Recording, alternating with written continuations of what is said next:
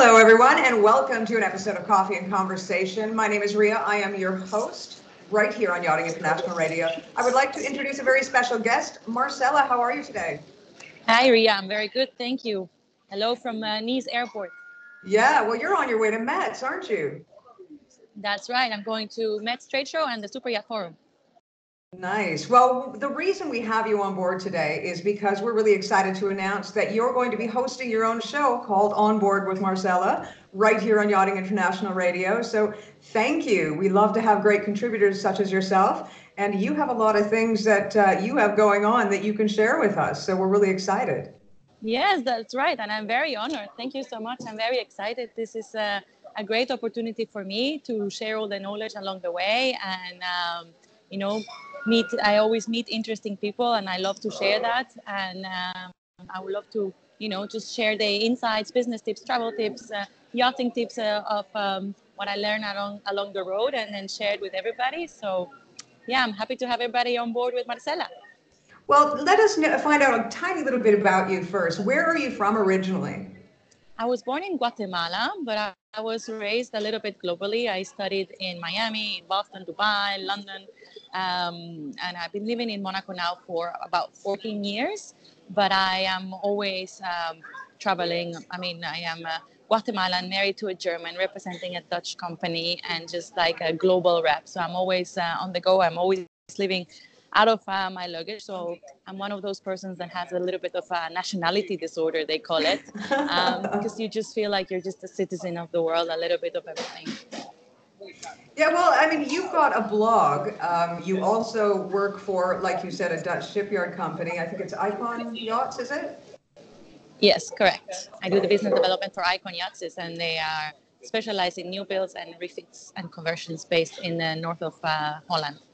Okay. And tell us about this this blog that you have. I mean, I've been actually having a chance to go through it a little bit. You've got a website that you just put up as well. Um, it, it is actually quite fascinating because it covers like a large aspect of what it's like not only to be a, a working woman but a working mother as well as the yachting industry combined. There's there's quite a few tips and it, it's it's a very broad spectrum of information for many people. Correct. Yeah. So it's a you know, it's for working moms, but it's also for anybody in business. I would like to share all of my uh, business tips, uh, travel tips, traveling for business, because I feel there's a lot of uh, travel bloggers, but there's not a lot of business travel bloggers. Uh, so for all of us traveling the world for work and always constantly on the go, having meetings with uh, different nationalities in different countries. Um, I would like to learn all about the cultural aspects of doing business uh, with different um, nationalities, doing business abroad um, you know, just travel tips when you're traveling for work, and then a little bit of the hassle and the juggle between being a mom and a, and a businesswoman. Um, and, and then, uh, yeah, the aim is just to, to have a more professional yachting industry and then uh, a more ethical industry as well. And then um, just, um, you know, untie all of those misunderstandings uh, between cultures, just uh, learning about uh, each other's cultures. Well, and that's something really interesting because just recently uh, I had the pleasure of interviewing um, a, a, sort of social media influencer um, and a lifestyle host uh, out of China.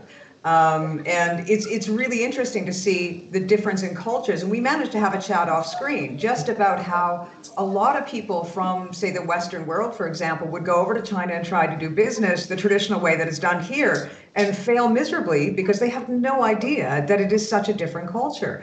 Um, you are able to explain that to people, correct? Exactly, and that's exactly what I would love to do. Yeah, how to do business in Asia, how to do business in the Middle East. I mean, I am very lucky that I am in a position where I uh, sit and have uh, business meetings with. Uh, um, the royal families in the Middle East, with uh, Russian oligarchs, with uh, powerful people in America, um, and then I am uh, always able to learn about you know their culture. And then I, I, I was raised around the world. I was I've been traveling and studying everywhere.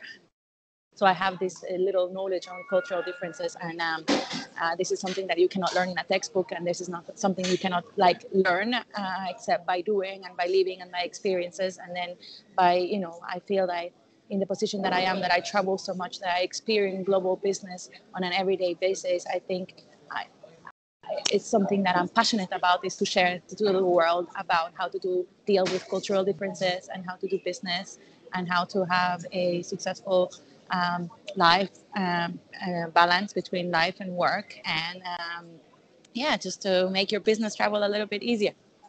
Are you open to, to consultation for example? If a business is looking to do business you know somewhere else in the world are, are they available are you available for them to call or consult with Yes, so part of uh, the program that I would like to do in my blog um, is I would like to put there, you know, just like a few tips on everything how to do business. But I will also, like in the future, I would like to do some sort of uh, program that you could uh, purchase and then I can uh, do some sort of training to your sales teams or training to yourself on, uh, before you're going to a, a, meeting somewhere or if you're planning to expand and open offices in India and you would like to learn about the uh, protocol and the business etiquette and how to succeed over there, this is something that I would love to do in the future. But for now, I think uh, my hands are pretty full and I'm uh, very, very busy being a business development uh, consultant for Icon Yachts and working mom and uh, all these projects I have going on. Well, yes, I was going to say. I mean, there's there's so many things that you do have going on. You're also planning a book, aren't you? Yachting 101. Yes, exactly. So, like I say, there's in yachting there is nothing that you can learn. There is no references. There is no textbooks. So people joining the yachting industry, they, it's, it's all learning by doing, and um, there is nothing that you can you know just learn. So I mean. Uh, working and I, have done a few conferences at the University of Monaco. I, uh, I graduated there, so I'm a very close uh, contact with them, and they have now a, a uh, yachting um, specialty masters. So people going to the University of Monaco doing an MBA, for example, or a business degree, they can have a specialization in yachting. And then one of the projects is to do the first uh, yachting 101 book. But um, yeah, that would also is a long-term project, but we are currently working on the, you know, just the content and then um, yeah, hopefully I'll have some news soon. well, do you know what? I don't know how you do it because um, I can tell you, being a mother as well and a single mother, but it's it's a lot to juggle. You're always sort of worried about, you know, if you're missing your child while you're working, and when you're, you know, with your child, you think you're missing something at work, and it's definitely a really difficult life balance. And you have sort of put added many, many more things on top of that as well. Not just one job. It seems like you have quite quite a few jobs going on. You also do some charity work as well. Correct. So I have, uh, I'm one of the co-founders of AMLA, Association Monégasque pour l'Amérique latine and um, it's an association for Latin America, and we organize events throughout the year to raise funds and help um, our country. So I, mean, I like to stay true to my roots and where I come from, and I've been very lucky and very blessed to live in Monaco and have all these opportunities. But I do remember where I come from, and then my country is uh, very, very, very poor. So if there's anything I can do to give back. Uh, and uh, I have an amazing team. Uh, so we are five Monaco residents from Latin America, and then uh, together with my team, they are amazing, and we're always doing things to help. So this Christmas, for example, we do activities for kids, and we donate a tree to the um, hospital to the kids pediatrician emergency uh, section in the hospital and then all the funds that we raise are always donated but they are donated not to like a random charity they are donated to someone that we know in our countries that will make use of that money to the best that's amazing. Well, you know what? I know you're a very busy lady. You've got a flight to catch in like 20 right. minutes. Yes. so you're heading off to METS. And I would just like to advise everybody out there that uh, Marcela is going to be bringing her show on board with Marcela uh, from METS. I guess we're going to be getting a few interviews over the next few days, and, and uh, I'm really looking forward to seeing them. Um, and I'm sure that the viewers out there will as well. So thank you ever so much, Marcela, for coming on board with us here today. Thank you, Ria. Like uh, for me, it's a great opportunity. I am really, really honored, and I am very excited about this partnership. And I think uh, we really connect to each other. So thank you again for this opportunity, and then um, I look forward to it. Wonderful. Well, everyone out there, introducing you to Marcela, and we look forward to seeing much more of her in the near future. I wish you the safe to, safest of flights, and um, yeah, I look forward to seeing your first interview. So thanks again. Everybody out there, we are going to be hearing more from her shortly. This has been Ria for Yachting International Radio.